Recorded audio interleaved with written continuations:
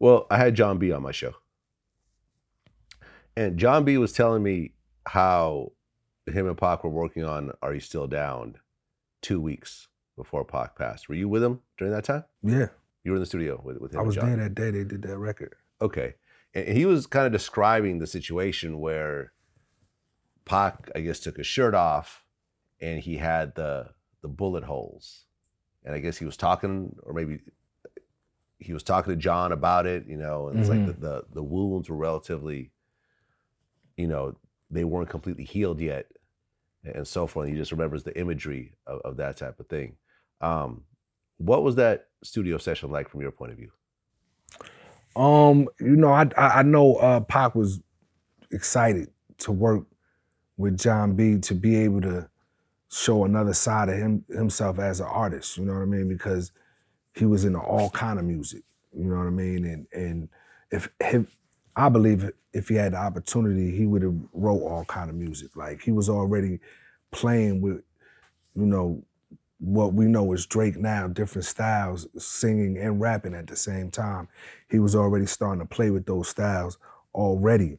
You know what I mean? Different melodies while you're rapping, what's popular right now. So, you know what I mean? This was this was an opportunity for him to work with an established artist and be able to show that, you know, I'm not just gonna get on here and rap. I'm gonna actually create a whole song with this guy. It's a love song. Mm-hmm. point blank period that that is a love song uh and has Pac ever worked with a white artist other than Jon B?